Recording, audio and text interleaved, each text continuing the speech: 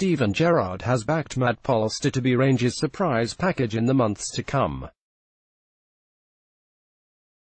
The American international was finally handed his Gers debut as a late substitute in Saturday's 3-1 win over Hearts in Edinburgh.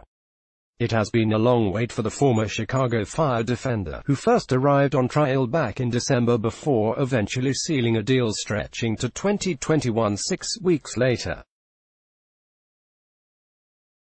But the travelling light blues faithful made sure to give the 25-year-old a warm welcome when he climbed off the bench for the final three minutes at Tynecastle as they chanted, USA, USA.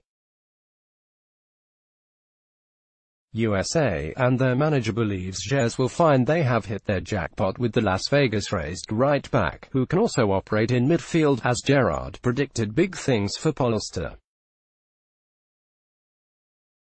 The Ibrox boss said, the idea with Matt was to get him in, get him settled in the city. It is a big, big change for him so we had to get him used to the dressing room, get him used to Rangers and the pressure of Rangers. He has settled down really well, has performed really well in the reserve team and the idea was always to get him in before the end of the season and then get a strong preseason into him to get him ready for next year. He is a good player. I think he might surprise a few. While Rangers were celebrating the seventh straight win against the Jambos and the third in a row since last month's Old Firm defeat, Hearts boss Craig Levein was left fuming at his William Hill Scottish Cup finalists' failure to compete for the ball left the guests on Gorgie's easy street.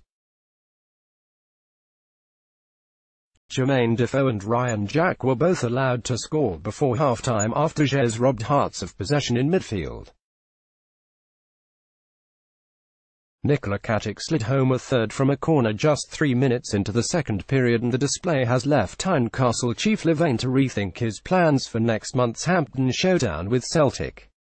Midfielder Peter Haring is now rated as a major doubt for the May 25 showpiece after sitting out the Rangers clash as his groin problem flared up once more. But there was some good news on a disappointing day as teenager Harry Cochrane made his first appearance since December when he was given the last 25 minutes off the bench. Right now I don't know who is playing in the final so there are opportunities there for people to stake a claim, warned Levein. Harry had had five different injuries and has taken a while to get himself back, and I need to be careful with him. He is not the most robust of players and, although he is a tough wee bugger, he is not physically capable of defending himself with the injuries and his body weight not quite being where it should be. I've kind of been looking after him a little bit. But he did quite well when he came on and I've got enough faith in him to know that if I put him into the final he would deal with it no bother. Will Peter be okay for the final? I don't know. He has a groin issue. He previously had a double hernia not so long ago and the physio and doctors aren't sure it's related. I'm hopeful and he does help us for sure. Let's block ads. Why?